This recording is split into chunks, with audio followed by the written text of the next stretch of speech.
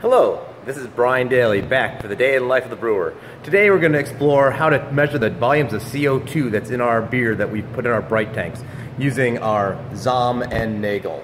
So Zahm and Nagel is a fancy machine that you use to measure the CO2 in your beer. On our Zahm and Nagel we currently have the bulb attached. That's attached because we need to counterbalance the pressure in the Nagel with the pressure that's in our tanks. Right now we have about 12 and a half PSI in our tanks. So we'll just squeeze the bulb until it gets up to 12 and a half PSI.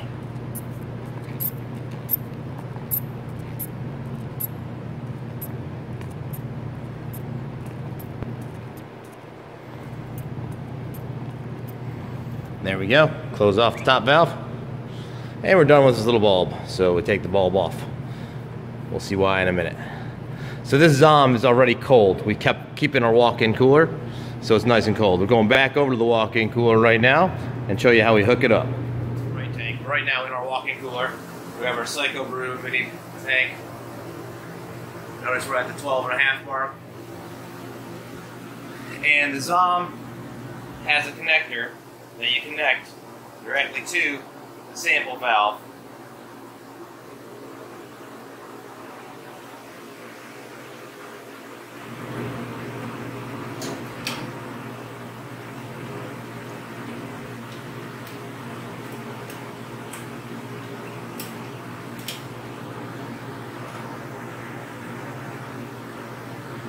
Tighten it down on the valve.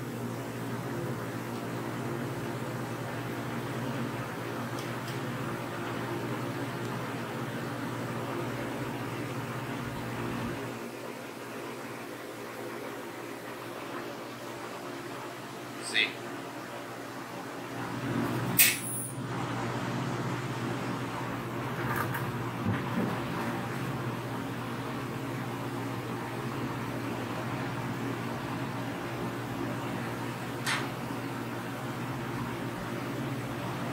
So we opened up the valve, so now beer can flow. There's another valve here that we need to open. Now beer's entering the Zahm. Notice the thermometer, tell us the temperature. And what we'll need to do is slowly start bleeding. The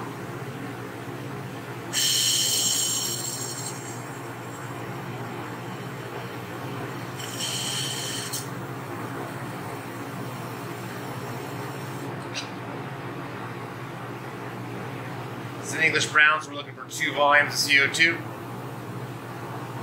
And right now, we're gonna look down and see there's a little window. And when the window looks nice and brown, no more bubbles, you can open it all the way up, flow it, close it.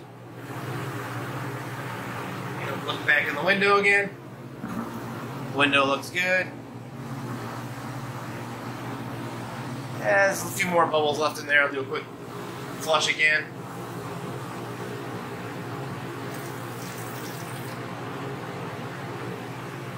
There we go. Now we close this valve, very important. Close your sample valve so you don't flow beer everywhere. And then we can get to shaking this Zahm. The bottom of the Zahm has a little twist plunger. We twisted it and allowed the plunger to come out. Now it's time to shake. So we gotta do 30 seconds shaking the Zahm. I'll be back in 30 seconds. Okay, I vigorously shook the Zahm and Nagel for 30 seconds. A little out of breath, still in the walk-in cooler. Notice the temperature reading on here is about 38. And the pressure is 11, 12, 13 PSI.